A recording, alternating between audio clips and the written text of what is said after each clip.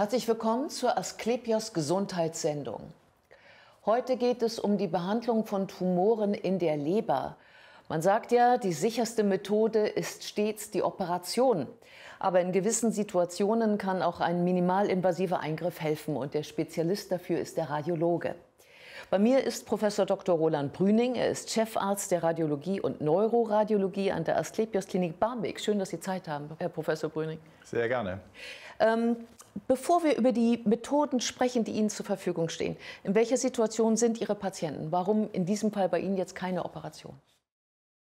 Die ähm, Situation ist natürlich nicht immer die gleiche. Ja. Die Situation kann sehr unterschiedlich sein. Es kann schon sein, dass Patienten behandelt sind und den Rat suchen. Ähm, es kann sein, dass die Patienten noch nicht behandelt werden können, zum Beispiel durch eine Operation und den Rat suchen.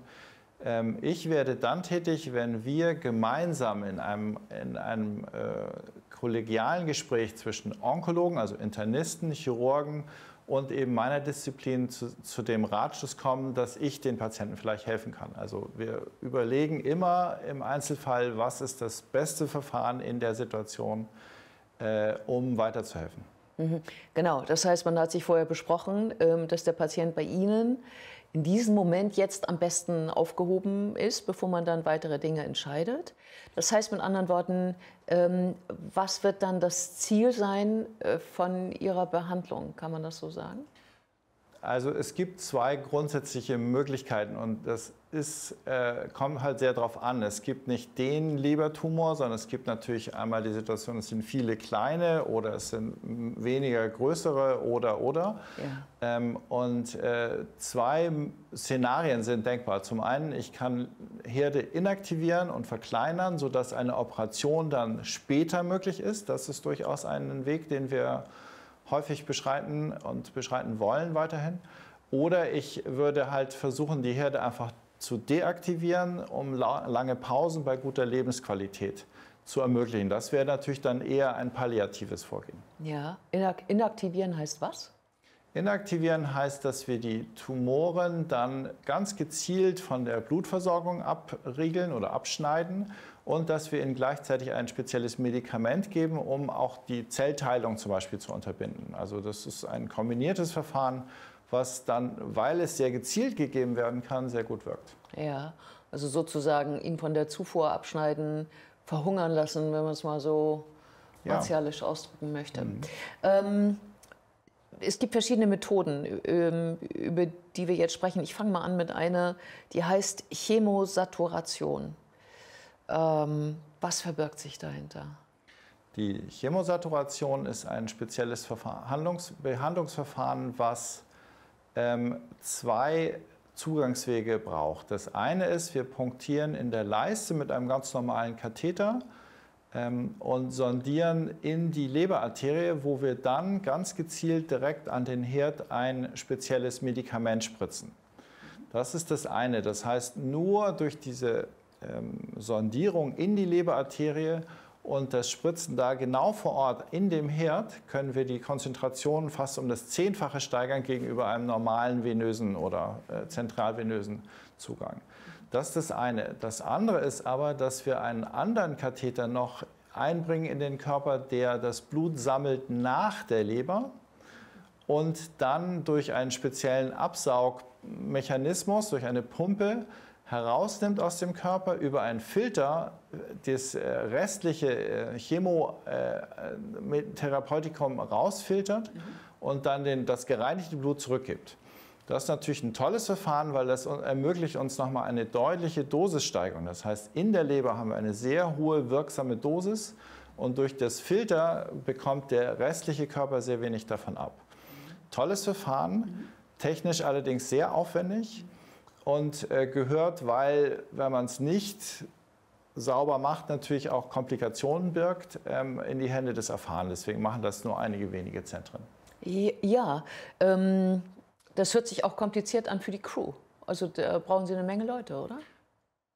Also es sind drei Teams da. Ähm, wir machen diesen Eingriff, der etwa zweieinhalb Stunden dauert, insgesamt. Mhm. Äh, immer mit einer bestens geschulten Mannschaft. Ähm, wir machen das schon seit vielen Jahren, seit zehn Jahren etwa. Und ähm, es ist so, dass wir diesen Eingriff in Narkose machen, nicht deswegen, weil er so unglaublich schmerzhaft ist, sondern weil es einfach, ähm, ich sag mal, sonst eine belastende Situation wäre, weil eben doch einige Katheter beteiligt sind. Wir äh, haben geschulte Leute, sowohl die Narkoseärzte sind geschult, meine Leute sind natürlich geschult, also die, das radiologische Team. Und dann äh, nicht zu vergessen gibt es noch den ähm, Spezialisten für die Pumpe und den Filter, der eine eigene Ausbildung hat ja, und der natürlich bei uns auch schon seit Jahren sozusagen vor Ort ist. Und, und dieses Wechselspiel zwischen diesen einzelnen Gruppen ist sehr wichtig, um den Eingriff auch erfolgreich abzu, ja. ähm, abzuschließen. Also es hört sich ja ähm, äh, zu schön eigentlich an, um wahr zu sein. Ähm, geht das denn für jede Krebsart? Ähm, diesen Filter, der ist zugelassen, was in Europa ja über die CE-Zertifizierung äh, passiert und der ist zugelassen in Kombination nur mit einem speziellen Medikament. Und das ist auch nachvollziehbar, weil natürlich wir nicht in so einem komplizierten Setting nicht irgendetwas geben können, sondern es muss natürlich auch durch den Filter zum Beispiel eliminiert werden. Und es darf auf dieser speziellen Route, wie wir es geben, nämlich durch die Arterie, auch keine weiteren Schäden machen.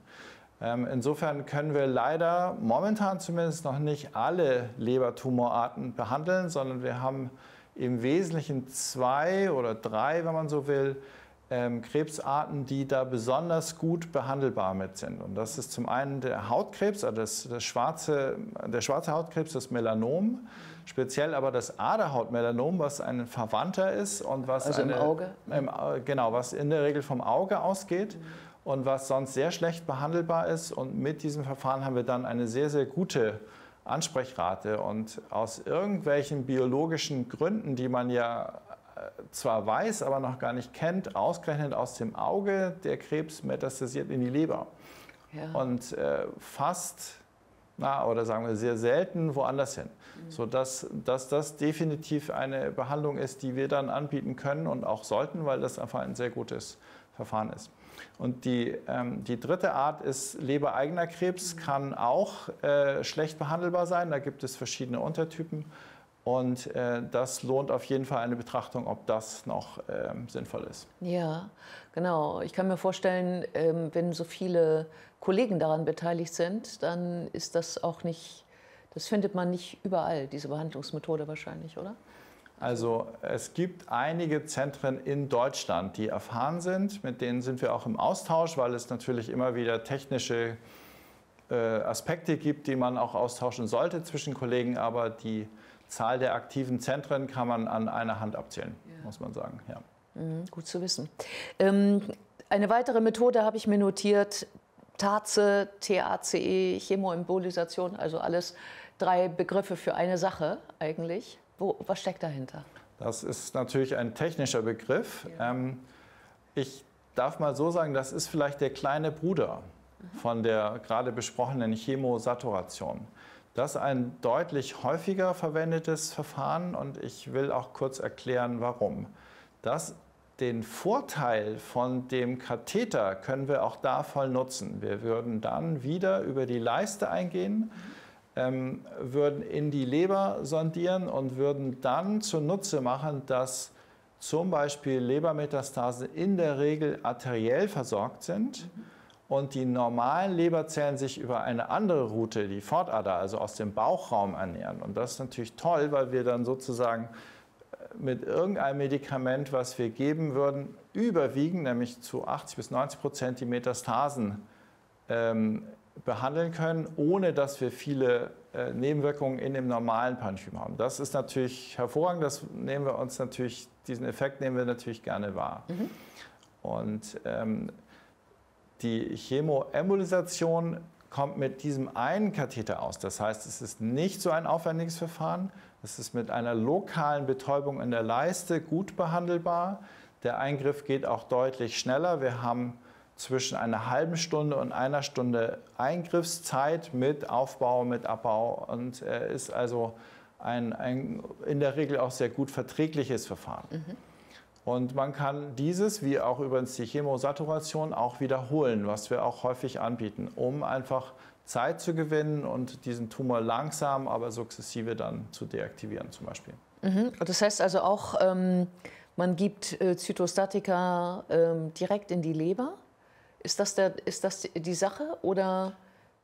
Ähm, die, die Chemoembolisation ist ja eigentlich ein Doppelwort. Die, dieser technische Begriff für das, was wir gerade besprechen, das hat einmal die Chemotherapie sozusagen drin das, äh, und die Embolisation. Und man muss sich das so vorstellen, das sind kleine Kügelchen, die so etwa ein Zehntel Millimeter haben, manchmal ein bisschen größer, das kann man sich aussuchen.